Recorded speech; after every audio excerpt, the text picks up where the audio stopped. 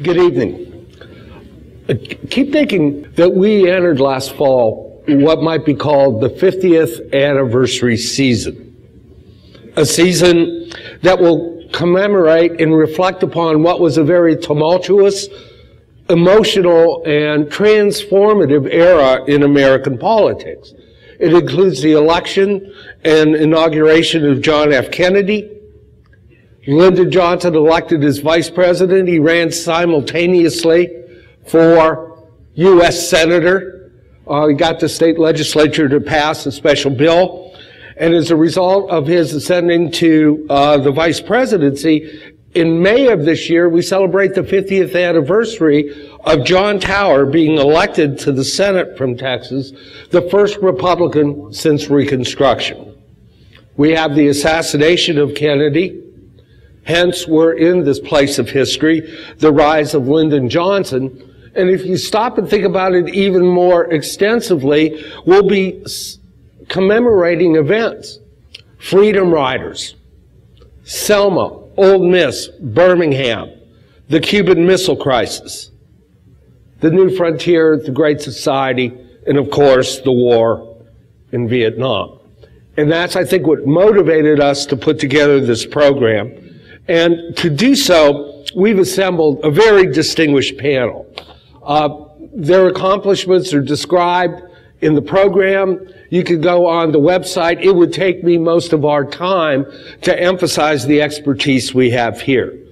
We have, first of all, Mark Updegrove, director of the Lyndon Baines Johnson Presidential Library and a presidential historian. Professor Sidney Milkis, the White Burkett Miller Professor of Politics in the Department of Politics at the University of Virginia, and he's also Assistant Director for Academic Programs at the Miller Center of Public Affairs at UVA. And Alan Lowe, the Director of the George Bush Library. Now, one thing we want to emphasize, following up what Jim said, our objective here is to discuss and reflect upon the legacies of this administration. It is not to defend or indict. And certainly these three gentlemen know enough they could do either, which calls to mind the Lyndon Johnson story. of course. Does it everything? Yes. He was interviewing for his first teaching job, fresh out of college little school district in Texas. And he's sitting across from a stern principal. This may be apocryphal. And the principal looks down at him and he says, do you believe the earth is round or flat? And Lyndon Johnson says, don't matter, I can teach it either way. so these gentlemen could argue it either way. And so with that, I'd like to begin with, with the first round of, of questions to each of them. An administration completes its time in office. How do legacies form in these early years? What was the initial narrative or interpretation of the Kennedy years and later the Johnson years? Who do you want to go first? we could go. Okay. Up to you, sir. All right, fair enough. Uh, let me just say that I, I, believe that story is apocryphal, but in Texas there's a great tradition. You don't let the facts get in the way of a good story. I think that, uh, uh, that, that legacies, it takes a while for legacies to form. And we are very myopic when it comes to evaluating our presidents. We are in the heat of the moment when they're still in office. And we're caught up in the passions that we feel for our leaders as soon as they leave. And you can see with George W. Bush, for instance, who left with an approval rating of, of I believe, 26%, uh, and was reviled by many. No offense, but but but the people couldn't wait for him to get out of the office. We were angry at George Bush. We, we, want, we wanted him to leave. Two years later, he comes out with a presidential memoir. It's a runaway bestseller on the New York Times list. Passions subside. And we begin to see presidents differently. Harry Truman is another great example of that. Left with an approval rating of 31%. But after a while, we began to appreciate the character it took to make some of the, the courageous decisions of his presidency. And we, we gained a greater appreciation for, for Harry Truman. So I think uh, it takes a little while for us to get outside of that presidency and to start seeing the forest for the trees. But to my mind, it takes a full generation until we can truly look at a presidency dispassionately. So that's my answer to the, to the, to the question. Sid? I, I think um, I'm, I'm going to respond.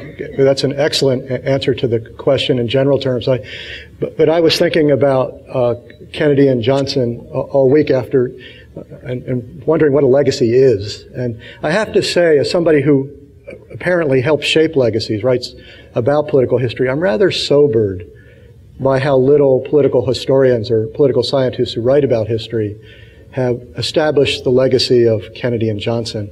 And I'm also struck, I, I, don't disagree at all with Mark's, with what Mark says about perspective, and I think we are getting some perspective on Kennedy and Johnson, which we'll talk about tonight.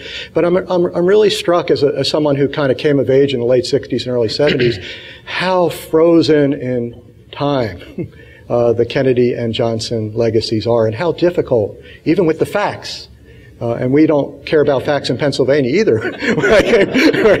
uh, even with the facts, how they've been difficult to change. And Kennedy, particularly, his legacy starts right where we're sitting. The powerful uh, impact of his assassination. Uh, and, and the way that he became very quickly a martyr. And, and one, of, one of the things I've noticed about writing about Kennedy and getting reactions to what I write, my facts, is that Kennedy is part of myth not of history.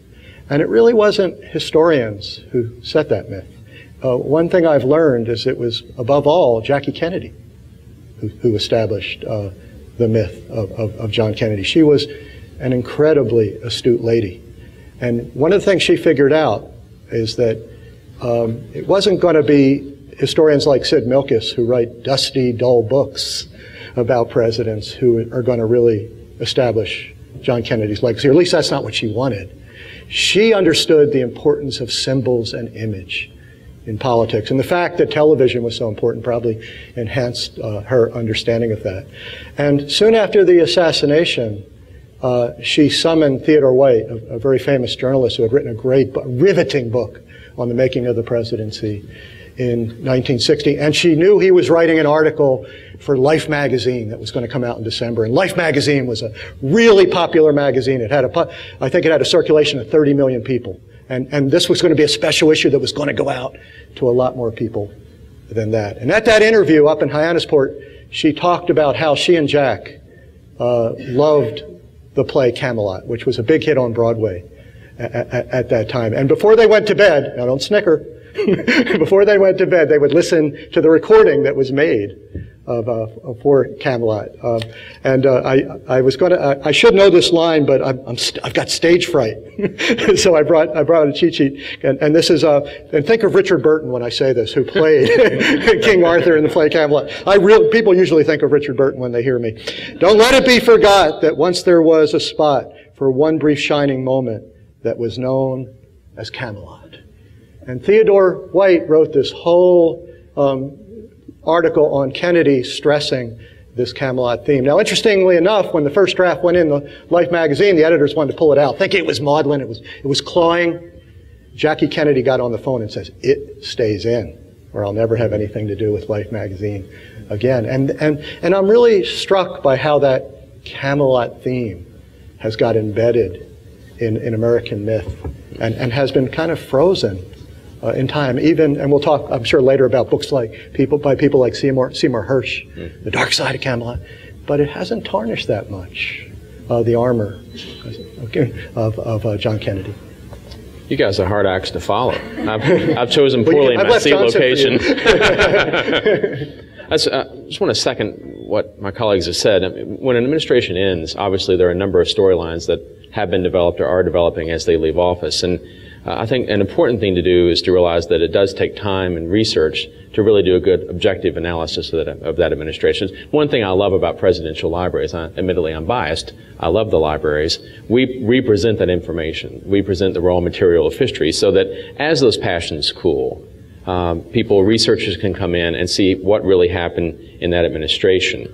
Uh, I think there is some danger to that, though. We, we always approach any research with a set of bias of our own. We, we, we go into it with, with certain assumptions. So just because 10 or 12 or 20 years have passed doesn't mean we're necessarily being more objective. It all depends on how we use that information and how we analyze it.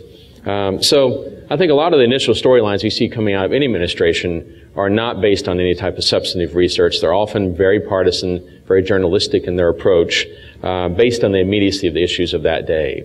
I think it takes time for that to cool and for us to start looking at it. Oftentimes what you see is either very fawning or very attacking. Uh, and I think that changes over time. Also, on the flip side of that, though, of course, and we're seeing this now with, with the Bush administration, you start to see memoirs coming out. Uh, the president, President Bush, as you know, just recently put out his book, Mrs. Bush, last year. You see this with each, each administration. And typically, they're not always, typically those administration memoirs are very supporting. Uh, you have to understand the perspective from which they're coming, but at the same time, I think they're very, very important uh, additions to the, uh, to the historic record. You know, one other general comment as I was thinking about this program tonight, it's very fascinating to look at the presidents and to see when they th- start thinking about their legacies. I don't know if you've read the, the new Taylor Branch book, the Clinton tapes. Uh, when they started, when Bill Clinton started talking to Taylor Branch, it was prior to the inauguration. And he was already talking about what is my legacy going to be. very fascinating to me that, that, I haven't gotten all the way through that book yet, but already a very fascinating read. So, uh, again, not, not speaking specifically about our presence here, it's the, the, the idea of legacy. What is a legacy? Uh, to me, the importance of the presidency. Again, it's one of the reasons I've chosen this as my life's work the centrality of that office to our political experience, uh, to how we move forward as a nation, uh, to the more nitty gritty of how public policy is made, the effect of, of the presidency on our lives. Just think about the effect that both Kennedy and Johnson had on our lives today and will into the far distant future. Um, you know, I found a quote, Herbert Hoover was very humble when he said, uh, he was asked what former presidents do. And he said, we spend our days taking pills and dedicating libraries. uh, former presidents now do much more than that. He didn't mean presidential libraries. That's right, that's right, right. And the, their legacies, though, really do help determine our course as a nation. So, um, May I offer a quick anecdote relating to Hoover, and it, it relates to, to, Johnson as well. Uh, Alan and I report to a woman named Sharon Fawcett, who's been with presidential libraries for a, a long time. She now heads up all of presidential libraries back in Washington.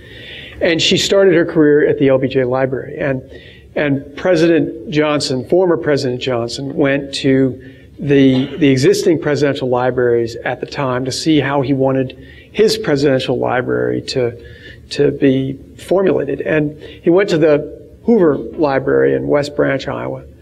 And she talks of him convening the staff upon uh, arriving back at the uh, at the LBJ library, and he talked about how he always misunderstood Hoover. He had always seen Hoover as the scapegoat uh, for the Depression, and thought he was a failure as a president. But upon going through this presidential library and understanding more about his life, he realized what a great man he was. This is a man who had fed war-torn Europe and in World War I and in World War II as a, as a former president, the tremendous accomplishments that he racked up throughout the course of his life. And he said to the, to the staff, and I realized that Herbert Hoover was a great man when I went through that library. And that's exactly what I want you to do for me.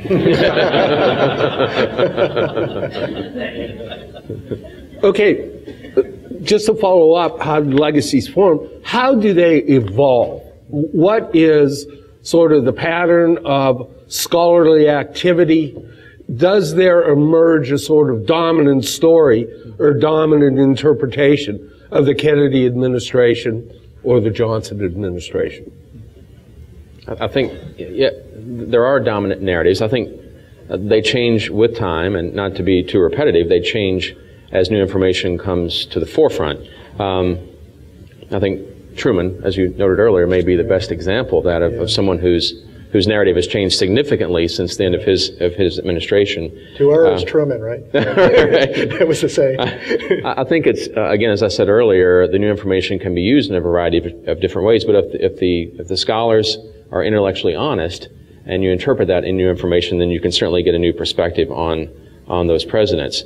I think it becomes less important to score political points, for example, over time. Instead, you start looking at it from a, a more um, uh, a broader perspective.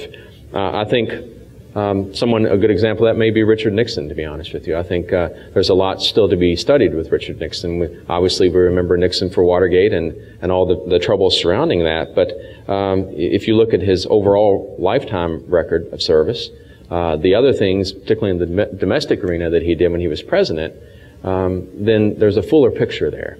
You may still end up at, the, at the end of the day say that you like or dislike Richard Nixon. I think there's still uh, a great amount of story to be told there for him. Um, certainly, the dominant narrative uh, with JFK, um, I think, is the martyred president who would have done so much, if only if his life had not ended so tragically. That aura of Camelot remains, I believe, despite the Seymour Hersh's and Nigel Hamilton's and other people who have written uh, so many negative things about President Kennedy. I, I certainly grew up in a house where uh, John F. Kennedy was idolized by my mother and my father, and no matter how conservative they became, John Kennedy was still the president. I mean, he was the ideal president to them.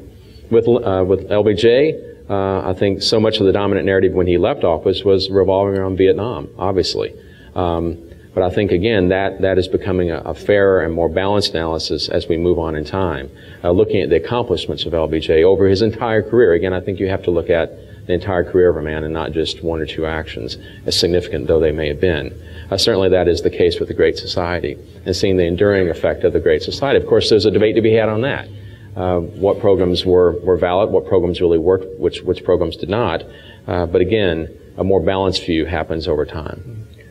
I've been um, really interested in how Johnson's image has uh, changed over time, and frank, frankly, uh, I've been I've been trying to contribute to some revisionism of, of Johnson um, be, um, because Johnson suffered greatly. His a, leg, a, legacy of Johnson got frozen that was connected to the to the celebration of the Kennedy administration as Camelot that really affected uh, uh, not only Johnson's reputation but Johnson himself. He was really jealous of the uh, of the uh, glamour uh, of the of the Kennedy family. Had a terrible relationship uh, with Robert Kennedy, and one of the things that really hurt Johnson was the importance of television and image that, is, that, that made Kennedy yeah. such a celebration. You know, if you ask um, um, the American people who was the greatest president we've ever had, um, they say John F. Kennedy.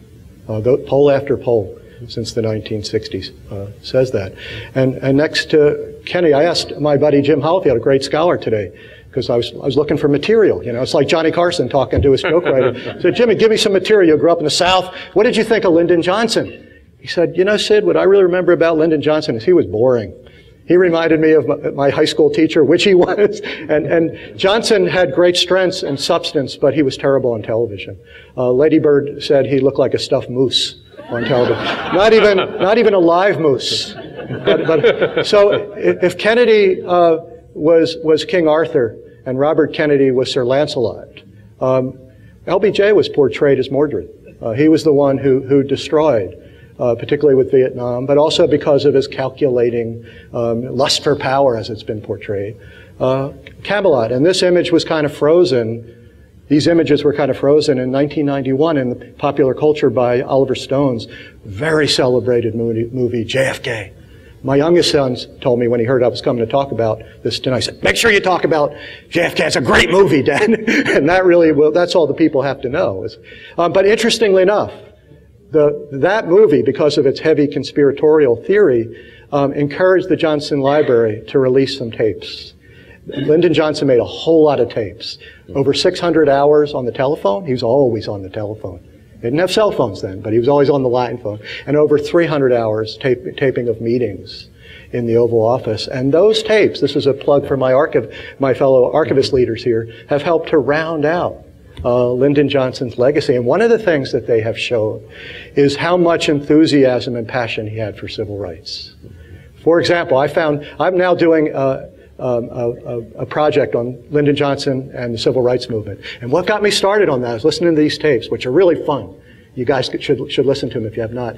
And, and I found a tape where he called Martin Luther King on January 15th, 1965, King's 36th birthday. And he told him, Martin Luther, Mr. Martin Luther King, Martin, he says, you got to stir those people up in Selma. You've got to do some demonstrating down there because you've got to help me put pressure on Congress so we can get this 1965 Voting Rights Act um, passed. I just found that to be extraordinarily fascinating and belied this notion that Johnson was just a crude manipulator of power. He was crude. We tell great stories. He was a manipulator, but it was connected to an idealism that really helped, that those tapes really helped uh, to convey. If, if, you haven't listened to the tapes, which I'm sure many of you have, please do. The, you, you, have the, the weighty, substantive topics like that, and on the flip side, you have him ordering pants from the president. Yeah. you know, this amazing yeah. variety of topics. Really, yeah. it's a great resource. Yeah, they, well, uh, and I agree with what my colleagues have said in, in large measure. I, am writing a, a book about Lyndon Johnson now. And, and the first line of that I, book. I didn't know that, Mark. it's not on the civil rights uh, movement. It'll be out next year by Crown Publishers. Because he writes. You can order it on Amazon.com.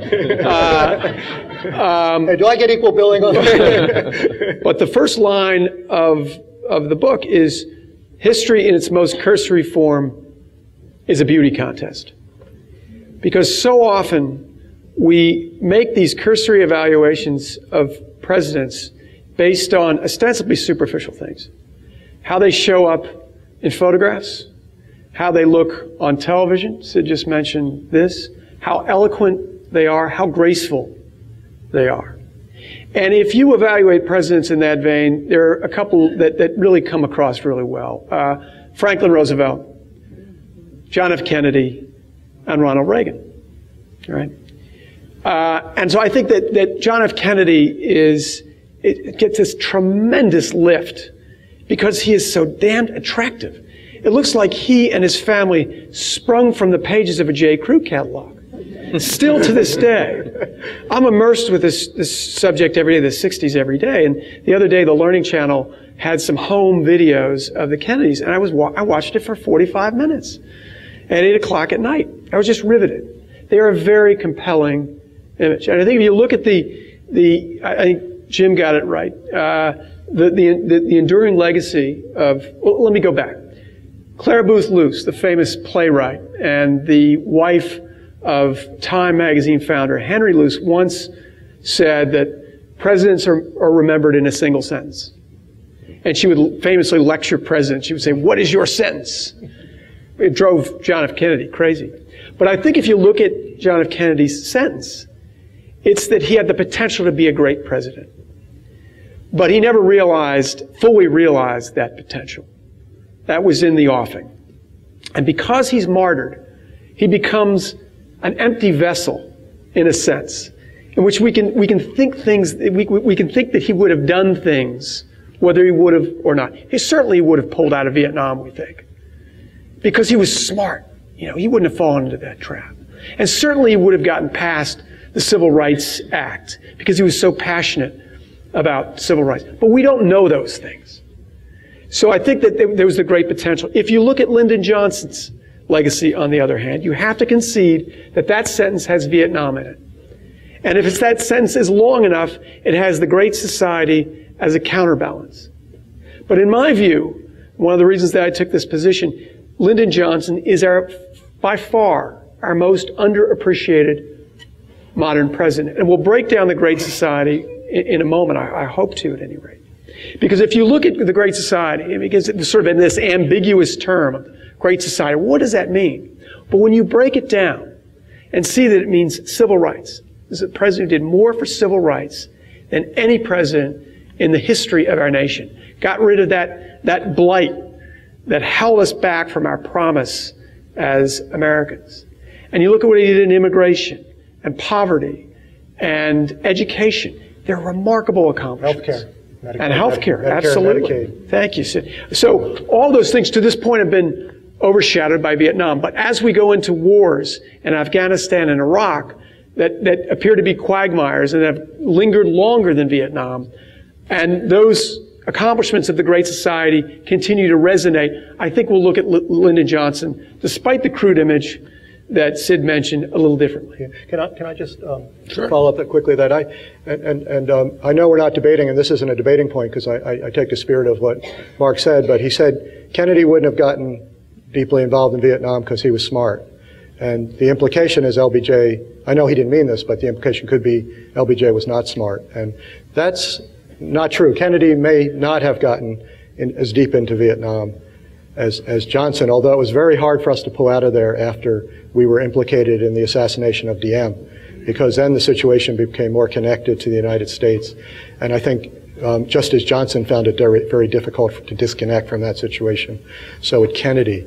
But my, my main point is that I think Kennedy wouldn't have gotten involved because he was much more, um, uh, a much more balanced, pragmatic leader than Johnson. In spite of the Camelot image, Kennedy was a, a very pragmatic um, politician and, and never was very careful not to get ahead of public opinion or to take risks. Ironically, Johnson, who's got this reputation as kind of a crude manipulator, was, was, was much more, a much more ambitious reformer uh, than John Kennedy. Um, the Great Society is a much more ambitious programmatic uh, achieve, uh, uh, effort than the new frontier was. Now, when people praise the Great Society, as they should, just as Mark does, they, particularly people who are, are sympathetic to the Great Society, disconnect Vietnam uh, from the, the Great Society and see it as, you know, this is where Johnson went wrong. It intruded on what was a great domestic program. But what I've learned in my research, which, was, which is quite interesting, and it goes to this difference between Kennedy and Johnson, is Johnson saw them as connected. He didn't think a society that could call itself great uh, could, uh, could, could not play a, a, major responsibility in the world. Uh, the righteous use of force abroad uh, an aggressive posture against communism in Southeast Asia, which was extremely risky. Eisenhower had avoided it. I think Kennedy eventually avoided it. Johnson got in deep. But, but I think these things are connected because the ambition, or to say it positively, or the arrogance to pursue a great society, a society without poverty, a color blindness. Those are great ambitions.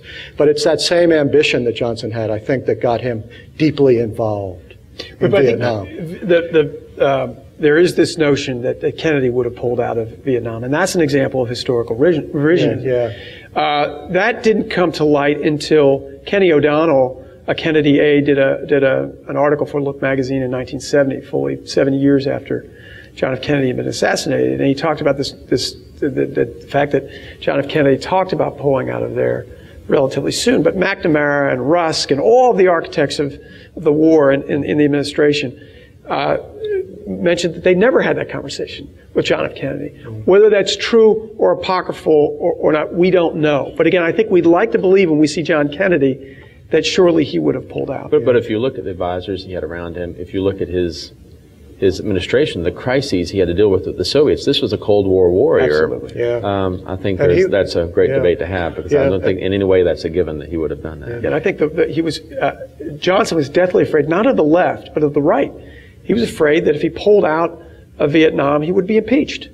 Yeah. Because we wouldn't have been living up to SEATO, an agreement that we had in Southeast Asia, and, and uh, we would have been essentially handing the Soviets a Cold War victory. And I, I don't see that John F. Kennedy wouldn't have had the same fear, to, to Alan's point. Among you, how frequently do various revisionists account? I want to talk about the dynamic of scholarship how certain events and our understanding or interpretation of those events has changed because somebody new comes along, looks at old information a new way, or finds new information. So just. Why don't you go? Well, I, I think revisionism is inevitable and is good. Um, and again, I mean, that's something that's going to happen over time. Um, I think the, the urge sometimes to do sensational books that whose only object is to tear down our heroes, uh, I don't think that's necessarily a good thing. Um, I think there, you know, for example, George Washington. I know we're getting a little, little off our topic here, but if you, if you look at the efforts to, I mean, there are efforts to make him into a real man. I think uh, Richard Norton Smith's Patriarch is a wonderful book. If you haven't read it, please do. That that makes Washington real. Uh, but then the, on the opposite side of that, people who want to look at every negative thing on the planet about Washington and, and try to tear down our heroes, Washington, Lincoln, and so forth. Um, I forgot where I was going with that, of course. um, I think an, another wonderful book to recommend to you, if you look at how revisionism gives you a better view of, of presidents when it's well done, is Wheelan's uh, Mr. Adams' Last Crusade, looking at John Quincy Adams and looking at his work uh, in the Congress after he left the presidency against slavery. I think the same thing's happening right now with uh, Ulysses S. Grant. I think we're getting a much more balanced view thanks to revisionist historians looking at new information, analyzing old information in a new way, in a very interesting way, I believe. So again, you know, I think every every man is a massive contradiction. Let's face it, we all are in many ways. And I think that's magnified a million times by the office of the presidency. So when you have the passage of time and information that you can analyze in different ways, I think it leads, leads to good revisionist history. Mm. Um, and, and a, it's a cycle. There are cycles. Yeah, it's really interesting. I, I think there'll always be revisionist history um, because it's a competitive business. Like, you know, somebody, one of my PhD students comes in and tells me he's going to do his PhD on Johnson's presidency. The first question I'm going to ask him is, well, what's new? what is there, what are you going to add to our, our knowledge uh, about the, uh, the, the, Johnson presidency? There's been, it's like, I did my, my dissertation on the New Deal and my advisor said, yeah, said there's been a thousand books on the New Deal. What could you possibly mm-hmm. add to that? Um, and, and so there, there's always going to be, uh, some revisionist history, and much of this is, is healthy and helps round out right. um, um, what can be a, a celebration that's uh, too exalted and, and a cele- or a, a, reputation that's too uh, diminished. Now, um, I, I, have mixed feelings about some of the revision uh, that's, that there's been on, on Kennedy. I'm really happy with the revision that's been on Johnson because uh, I, I, think he, he, he, deserves rethinking as, as, as the, one of the most important presidents of the 20th century. Uh, the Ken, some of the Kennedy stuff has been very thoughtful and important, like Garry Wills' book uh, points out that, uh, that, one, that uh, there's much to be celebrated about Kennedy, and, and, one could look at the Cuban Missile Crisis.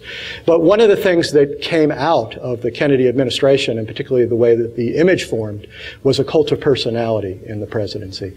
Now, John F. Kennedy didn't start that. It really starts with Theodore Roosevelt, mm-hmm. who was the first one to, to call the, where the president lives, the White House. Before that, it was called the Executive Mansion. And Theodore Roosevelt said, that's not good. we, need, we need a better image than the executive mansion. Let's call it. That was okay for Washington. That's not good for somebody who, who wants to, in a sense, uh, uh, ex, uh, expose the personal side of the presidency, has, uh, has, has much to offer in terms of their family and their, uh, and their own uh, personality. And, and but, so Kennedy didn't start it, but partly because of TV, he definitely upped the ante. and, and one of the, um, one of the consequences of that is he greatly raised the expectations of the presidency to the point where it's been very difficult for anybody since Kennedy to live up to the expectations uh, uh, uh, of, of, of that office.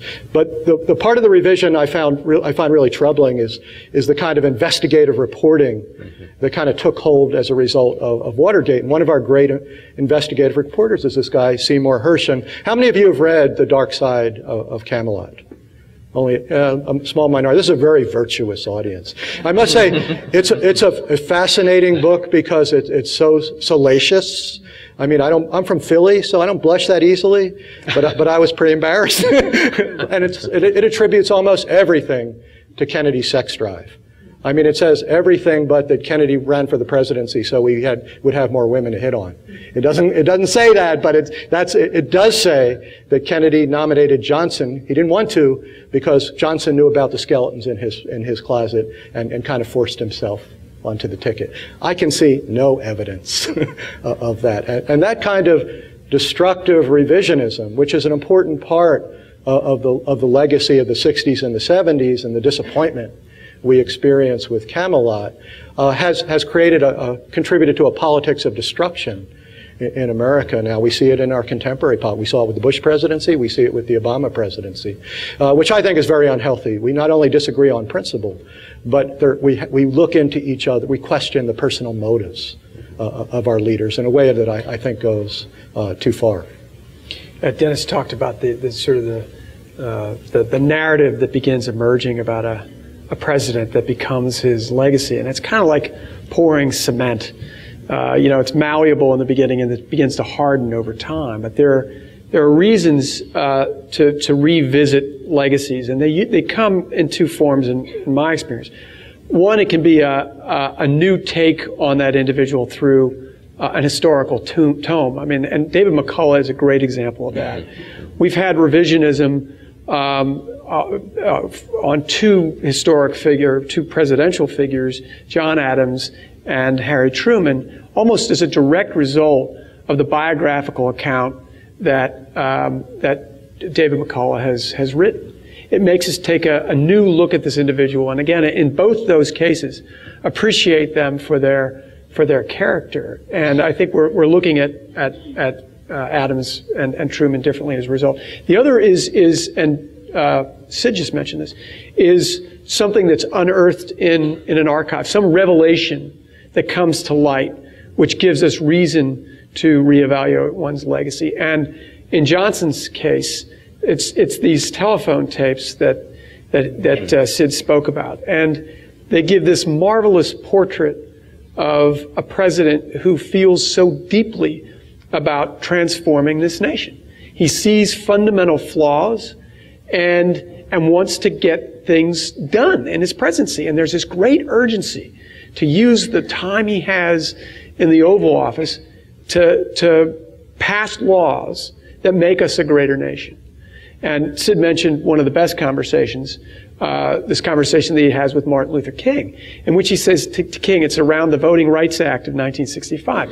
You know what? If you take your folks down in, in, in Mississippi and Alabama and show the American people how difficult it is to vote, there isn't, and I think this the, the word he uses, there's not a farmer in this country who won't look at that and say, we've got to change things. Mm-hmm. He's thinking about the average American and how that's going to sway them. And at the same time, King is offering him advice saying, you know, if, if African Americans can vote, Mr. President, it means you're going to expand your base in the South. So they're, they're, they're sort of counseling each other.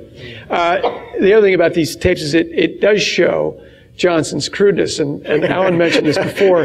This what, what, are we allowed to say? yeah, right, right. There's an infamous conversation of him ordering Haggar slacks from oh, the, the scion of the founder of, of Haggar. and he, he, let, us put it this way. He gives some um, very detailed anatomical descriptions yes. to talk about how these pants should well be taken. well done, Mark. Uh, so you see these different sides of Johnson, but ultimately um, they vindicate Johnson in a way that the tapes that come out, that, that continue to come out about Nixon, um, you know, vilify Nixon. You know, it's, it's an inverted effect. Every time we get the, you know, a new tape from the Nixon camp, it seems to damage Nixon. But when these tapes were unearthed for Johnson, it, it seemed to vindicate him in a lot of ways. Yeah. Can, can, I just, Please. I, I, well, I was going to ask can I just add something? There? Sure. Yeah, I, I wanted to um, just mention, because Mark's really great points made me think of this, is that one of the things that drives me crazy is that in every book about Johnson and civil rights, um, there's this uh, quote from Johnson. Um, all right, we passed civil rights, we just lost the South. Uh, and, and, there has been a realignment, an important realignment in the South, and it is connected to civil rights. But I have looked, I am, you know, I am tenacious in my research. I've looked everywhere. I've listened to all the tapes. I cannot find the smoking gun. I cannot find where he said that. And what made me think of it is Mark's point where he was telling Martin Luther King, pick the conscience of the people in the South. We do not, we, we do not have to lose the South. The people in the South understand the Constitution and the Declaration of Independence. And Johnson said, by the way, the very same thing publicly in, in, a series of very courageous speeches he gave in Georgia leading up to the passage of the 1964 Civil Rights Act, including a speech to the state legislature in Georgia, which, which said this, gave this spiel I, I pretty much uh, just just gave. So, you know, being the uh, in, the uh, aggressive uh, his, uh, political historian, I uh, I had the good fortune to interview a lot of Johnson aides, including Harry McPherson, and I had a conversation with McPherson. I said to Johnson, was he sure President Johnson he was going to lose the South? And he said, and nobody was closer to Johnson than Harry McPherson. He said no. he thought he thought if the economy held up, that the Democratic Party would continue to do well in the South. What he did not anticipate, being joined to the, to the, to the controversy of the civil rights, was the, the foreign policy issue of Vietnam. And, it was, and, and Johnson was devastated by the way the combination of the civil rights controversy with the Vietnam controversy led to uh, he saw was going to lead to a potential implosion of the Democratic uh, um, Party in the South. And I think we underestimate how important foreign policy has been in the realignments in this country and, uh, and in the resurgence uh, of the Republican Party. I would argue, and I won't get into this because we're talking about Kennedy and Johnson, but I would argue uh, that a lot of Reagan's popularity didn't have to do with uh, getting government off our backs, but it had to do with his commitment to patriotism, his, his desire to restore the kind of Cold War mentality uh, that Kennedy particularly celebrated. Just, kind of, add a couple of things real quick. Um, you know, I, as I was getting ready for tonight, I found a quote uh, from JFK that I think every revisionist or every historian should read before doing the work. He said, "No one, no one has the right to grade a president, not even poor James Buchanan, who has not, who has not sat in his chair, examined the mail and information that came across his desk, and learned why he made decisions." Again. Uh, again, I'm showing my bias as an archivist here, but looking at that raw material of history, of seeing exactly what type of information was provided to that president and why he made those decisions in the immediacy of that moment. Uh, the other thing I want to talk about, real, real briefly, Dennis, is, is a great book uh, Den, Den, uh, David Greenberg did on Nixon called Nixon's Shadow. I think as we, as we look at I'd love to, to, think of that type of analysis for other presidents as well. He looked at how different groups over time have viewed Nixon. So how the loyalists have viewed him, how of course, the loyalists view him as the victim of Watergate and so forth. Uh, how the liberals view him as Tricky Dicky, as uh, how the foreign uh, foreign policy establishment views him as the the elder statesman. And really fascinating to look at the different lenses through which Nixon is viewed. And I think that's true for every one of our former presidents. Uh, can I thank the Right Honorable Alan for uh, defending James Buchanan? Not that I would want to defend him, but that was the only president elected from Pennsylvania. thank you. and I was ashamed of that until now. Thank you. you we don't thank, know what went across his desk. John Kennedy. the one thing I, I would uh, mention about, uh, and, and, this goes to the legacies of both men, which is why we're here tonight. Uh, Sid talked very articulately about, about civil rights. But uh, the Civil Rights Act of 1964 was, of course, passed by, by Lyndon Johnson. Lyndon Johnson resented, and I think rightfully so to a degree, the extent uh, to which Kennedy was credited for mm. civil rights. Mm. The Civil Rights Act of 1964 was not an easy thing to get through Congress. Uh, Kennedy had proposed it, but there was no assurance that he could have gotten it through. And there is no question that Lyndon Johnson used the martyrdom of John F. Kennedy to push it through Congress. It is very clear that was part of his strategy. He was using a slain president, saying, This is the, this is the wishes. These are the wishes of John F. Kennedy. You need to do this. And he implored his Senate colleagues, against their will in many cases, to get it done. So when he would go back and say, and, and lament the fact that he wasn't getting credit, he himself was at fault. But you have to look at, at civil rights legislation is not just being the Civil Rights Act. It's a triumvirate of three things. It's the Civil Rights Act of 1964, the Voting Rights Act of 1965, which is all Johnson, and the Civil Rights Act of 1968, better known as the Fair Housing Act. Those are the three pillars on which all civil rights is really based legally in this, in this country. And I think they have as much to do with LBJ as, as anyone. I mean, there's no question. And that's why I mentioned earlier that there's, most historians will tell you there's no president who's done more for, for civil rights than, than Lyndon Johnson. In fact, Martin Luther King, when the Voting Rights Act was passed in 1965, cried uh, after the speech that LBJ gave in which he invoked the Negro spiritual, We Shall Overcome, which was more or less the anthem of the civil rights movement. Mm. And he said to John Lewis, who's in the room with him, uh, you know, I loved President Kennedy, but I don't think he would have gotten this done for us. Johnson ultimately was a doer. He wasn't, he didn't have the image, but God knows he got things through Congress. And he has a legislative record that I don't think is, is rivaled by any 20th century president with the possible exception of Franklin Roosevelt. You know, you know, it's interesting. Johnson is really has no respect as a public speaker, and much of that is justified. But he did give some great speeches, and one of my one of the best is the one that Mark just quoted, the, the speech in defense of the 1965 Voting Rights Act, which which builds up to this climax where he joins hands with the civil rights movement and quotes this African American spiritual. He says, "We shall overcome." Uh, John Kennedy, bless his heart, would have never said that. He was too cautious a politician to say. And one of the things that's done my heart good, because I I really do admire Johnson is that the, uh, he is now credited with being a great civil rights president, not least by the African American uh, community. I read a great essay by Ralph Ellison, who's one of my fav favorite authors, where he said Johnson was the greatest American president. Uh, not even Lincoln uh, deserves the credit, and certainly not John Kennedy, uh, for moving us a step closer to the uh, lodestar of the Declaration of Independence. We are all created equal uh, nobody did more the, in the presidency, in the Oval Office, than Lyndon Johnson.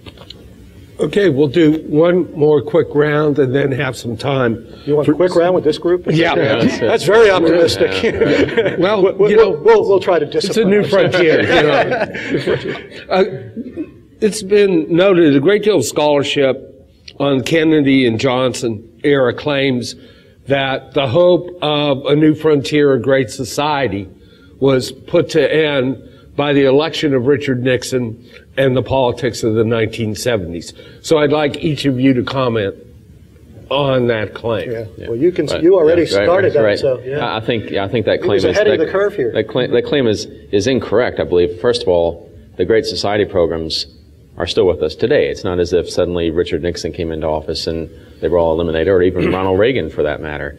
Um, and I think also, and I've had a couple conversations about this, it's really fascinating to study the Nixon administration and to see not only did he continue Great Society programs, he in some way expanded them and added things uh, that we, you know, nowadays we don't really think about Richard Nixon doing those types of things. Uh, the creation of the EPA and OSHA, um, uh, a whole list of things, if you look at this, that, that Richard Nixon uh, actually uh, continued the Great Society. I think with Ronald Reagan, uh, and certainly since then, you've seen more of a debate about the effectiveness and the appropriateness of certain Great Society programs, but you don't see any president going in and doing away with them wholesale by any means. Now, a great uh, young archivist on our staff, Paul, San- Paul Santa Cruz, who's here today, uh, he did make a very good point, I will say, that after Johnson, you didn't see uh, Democratic presidents for the longest time running by saying, I'm going to uh, do more of the Great Society programs. You, instead, you saw Bill Clinton saying the era of big government is over. Uh, now I think that's changed with President Obama. Yeah. Uh, but but that being said, he didn't really mean it. That's right, right, that's right, that's right. Yeah, and, Only as, rhetorical flourish, as, as, you discussed with us last night. Um, um, so I think you know, obviously the Great Society endures. Um, it has, it, I think, overall has made this a more just and fair society. Um, and uh, though we have um, uh, people on, on the right uh, saying that the era of big government is, and people in the Democratic Party saying the era of big government is over, uh, these programs certainly endure. Yeah. I, I, I, if I could just say, if people have questions, please pass your cards uh, to the folks, yeah. and we'll get them here. If, if, you have a hard question, please don't. No.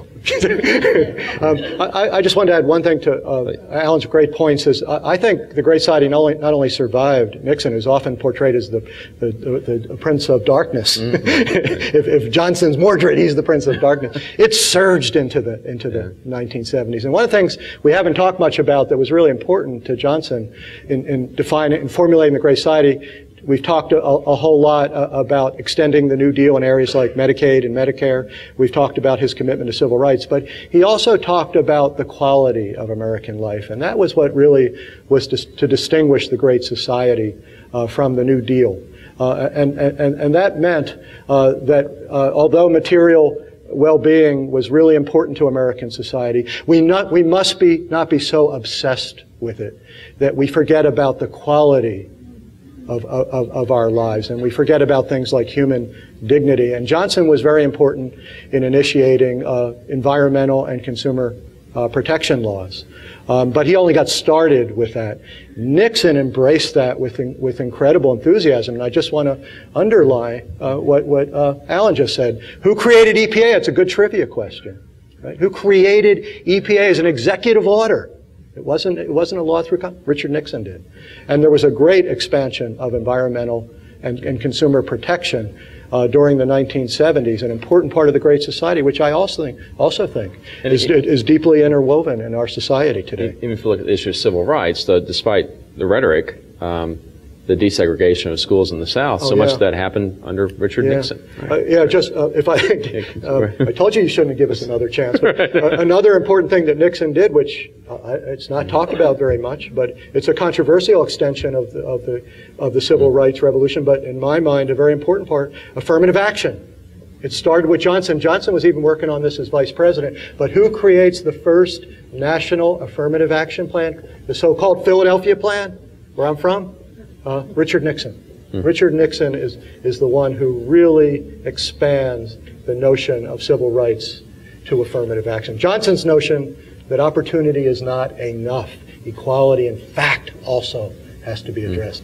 Nixon um, embraced that for reasons that are complicated, uh, even more than Johnson did. Nixon, there's no question, Nixon was a moderate. Um, the Great Society be- becomes under attack principally under, under Reagan. And Reagan says famously in his 1988 State of the Union address, in the war on poverty, poverty won. Uh, that's erroneous, though. If you look at the rate of poverty when Lyndon Johnson, uh, when, when John F. Kennedy and Lyndon Johnson took office, it was about almost a quarter of this country. It's about 23 percent. After the programs of the Great Society and the war on poverty, that goes down to about 14 percent. And it goes down to its lowest point with Nixon at 12 percent. So, so the Great Society becomes a whipping boy for conservatives. Less so the New Frontier, because I think conservatives uh, laid off Kennedy wisely. I think recognizing that Kennedy is this is this hero. He's an American hero, and that you kind of have to have gloves off. But Lyndon Johnson and the, and the programs of the Great Society were, were fair game. Uh, but again, if you look at the policies, uh, Nixon might have been talking uh, about uh, the, the Great Society as being flawed. But if you saw, if you judged him by his actions, uh, you could see he was a great supporter of many of those programs. And indeed, many of the, some of the programs of the Great Society were flawed. But then again, any great grand experiment has flaws in it. And you can see that in FDR's New Deal, too. Many of those were overturned for being unconstitutional. Some of them didn't work and they were suspended. But FDR believed that uh, doing something was better than doing nothing at all. And he believed in using the instrument of government to address many of the ills in our, in our country. He did so during a time of great crisis. Johnson did so during a time of relative prosperity. Uh, so there were there were different times, and I, I, I do think, though, if you look at the, the New Deal and the Great Society, on balance, they are en- enormously successful and transformative. Okay, we'll go to uh, questions from the audience. What are the legacies of Jackie Kennedy and Lady Bird Johnson? Let them start We need, there. we need some women scholars. we do, we do. These uh, I- I'll take a shot. You know, white guys in suits, you know. Lady Bird Johnson is a lot like John F. Kennedy. She's just she's she's American royalty. Uh, she's beautiful. She's graceful, and and I, I remember Hugh Side. Do you all, do you all know Hugh Sidey by chance? Hugh Sidey was a dear friend of mine at Time Time Magazine. Magazine, Covered every president since Eisenhower died about five years ago, and he talked about and he knew the presidents intimately. He knew him incredibly well. Was very close to to John F. Kennedy, but. He, he talked about the fact that even though he was a journalist and had seen it all, he would see John and Jackie Kennedy glittering on the world stage, and he would just swell with pride. And I think you look at Jackie Kennedy, and you just you do feel that pride. You want to be represented by those two people. They're just so attractive and they're so so graceful. Um, I think her image got a little tarnished when she married Aristotle Onassis, and I think she still she remains a bit of a sphinx. She's very enigmatic, even you know, almost 20 years after her passing. Lady Bird Johnson, I, I, I don't know that I appreciated how loved, truly beloved she is in her home state of Texas. I don't think she has as as prominent an image other places in the country. But this is truly, for, for anyone who's spent any time with Lady Bird Johnson, perhaps the most gracious First Lady in our history, and did an enormous amount for the environment. And unfortunately, it's trivialized, or it was trivialized at the time, by being labeled beautification. They couldn't think of a better word, and it sounds very superficial. But in fact, it is hardline environmental policy that she is the champion of in the course of her husband's administration. Yeah, I, I, think, um, you know, uh, Jackie Kenney's um, um, uh, stories about Camelot to Theodore White weren't just selfless. She wasn't just worried about her husband. She wanted to be Guinevere. Mm-hmm. And once that Camelot image was established, that really exalted her. And, and it was tarnished some by, by marrying Onassis, but only uh, uh, somewhat, I think. And I think Lady Bird uh, was, was really suffered from the controversies of the Johnson presidency and didn't get the credit as, as, uh, uh, that, as Mark just pointed out, she, she richly deserved. Uh, and that really upset Lyndon Johnson. I mean, he was jealous about the Kennedys for a lot of reasons, and that was one of the, the principal reasons. But she's really worn well yeah. with history, um, partly because she lived a, gr- a long, robust mm-hmm. life um, and uh, had a, was a real pre- has been, was a real presence at the LBJ's school and, and, and museum, and so she eventually was deeply respected, respected partly for her her work on on beautification but also because of her, her grace. So she's just an extraordinarily engaging person. You know, Sid, uh, uh, I think Nancy Reagan took a page from the Jackie Kennedy yeah. playbook yeah. in in uh, sort of casting the image of her husband that she she wanted the public to have, uh, and I think that to, to, to a degree it's hagiography. I think you're you were alluding to that earlier. But the one thing I will say is that hagiography works. If you look at the images that we have of John F. Kennedy and Ronald Reagan, that kind of treatment uh, really does work, uh, for better or for worse. Yeah. It and helps. the Obama and the Obama White House too. I mean, there was just an article. I can't remember where it was. I mean, it might have been. Uh, it wasn't in Time magazine, but there was just an article about how Obama learned a lot of politics from watching the Reagan presidency. And, and although he was opposed to Reagan policies, he really admired Reagan's leadership style. And, and that, that has played large, I think, yeah. in the way the Obamas have handled themselves in public. Just a quick word on Lady Bird. I was so fortunate to get to meet her. I remember when I was down at the Johnson Library and went to the Johnson Ranch. Um, and it was one of the treasured moments of my life. We were there and when the tapes had started coming out. And they played the Haggar Slacks. and I looked over and she was just crying, laughing. It was funny. I'm glad she was crying, laughing. yes, yes, yes, I was crying. We're crying and laughing at the same time. But, I mean, of course, her work with the environment, her, her graciousness, I think she's an icon in American history for sure. Okay, I think this is a fitting last question. And the questioner writes, are motives, character, personality important to evaluate or should we focus on the outcomes mm-hmm. of an administration? That's a great question. Wow, what that's, a great that's an question. easy question. I have no idea what the answer is, but it's a great question. um, well, I'll, I'll just uh, answer with um, respect to Johnson. Uh, most, uh, there's been an incredible focus in history, particularly Robert Caro's books, who's slouching towards his fourth volume on Lyndon Johnson. These are very popular books, and, and rightfully so. They're great reads and they're carefully researched. But he's got one rock hard theme that rod that run, you know, runs through all of them. And everything Johnson did was out of ruthless desire for power. Everything, bad or good. And and so even when he starts in, in the Senate, he starts to get some to stuff that Johnson did that he liked like the 57 and 60 civil rights bills, which Johnson, they were modest beginnings, but they were important beginnings, and Johnson was very instrumental in the Senate in getting uh, those through. And now he's writing about the presidency, so I'm sure, but the, he, he, he's kind of tortured by that. So what he says is, Johnson persuaded himself these were good things to do. In, in, because he knew doing them would enhance his power in the Senate. I mean, it's really that tortured. I think that's ridiculous uh, frankly. I think it's not, intentions are not irrelevant, and if you really wanted to get into it, it Johnson was a complex man. He, he, he, was a, he did have a, a, ruthless desire for power, but it was joined in a, in a fascinating way with a passion for reform. There's no, there's no denying this complexity. Uh, and, and what I, the problem with looking at intentions is there's, an, there's a temptation to simplify motivation. So at Kennedy, everything's from his sex drive or his desire to assassinate. Look, to get to the presidency, particularly in the modern era, you have to be a complex guy. You have to. Do you think President Obama, for all his charm, is not ambitious?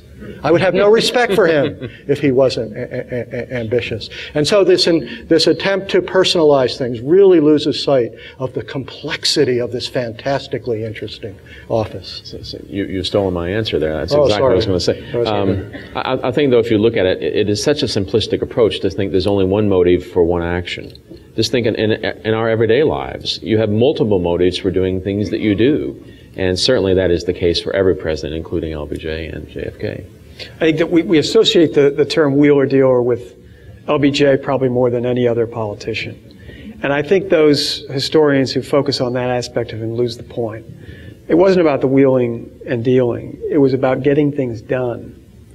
And yes, in many cases, uh, he, he did things that helped him to boost his power. There's nothing wrong with power, though, if you want to get things done. It was ultimately about achieving an end. That's what it was about. Uh, one, one thing I'll, I'll He say. didn't mind the power. to be honest. And you know what? He didn't mind it. and he, he, he exercised that power with reflexive Yeah. ease. And you see that one of the reasons that we were able to transition, since we're in this great institution, so easily from uh, from John F. Kennedy's tragic assassination is because is this man was so comfortable with power. One nod to, to, to John F. Kennedy. Um, i- i- you can't underestimate the power of words. Words, even if they don't hmm. necessarily result in a deed. Hmm. And no one did words as well as John F. Kennedy. And those words today still resonate and they still inspire, even though they don't, they aren't necessarily backed up by a legislative accomplishment. And that's why I think John F. Kennedy is a great leader. Johnson's a great leader because he did do. He did accomplish things that, again, had a transformative effect on this country. Hate to be re- uh, revisionist, but nobody did words like Ted Sorensen. But, but that's, that's a whole other discussion about speechwriters, which I, I think we don't have time for. But drinks later on me if anybody wants to talk about it. Okay, I would just like to give a concluding comment. This has been, I, I think, first of all, you get a sense from the panel's enthusiasm how fascinating these two administrations are. And just to put an end note on the last question, I observe, and this is something we can carry forward looking at other presidencies, is there's a strain in American culture, in American political culture, where the expectation is we want presidents to do the right thing, be effective, and do that for the right reasons. And that your answers to the last question reveal how wonderfully paradoxical it is to take undertake the study of the American presidency. So thank you very much. Nicely done. That was great. Great, great, great. It was really a lot of fun. That was great. That was great.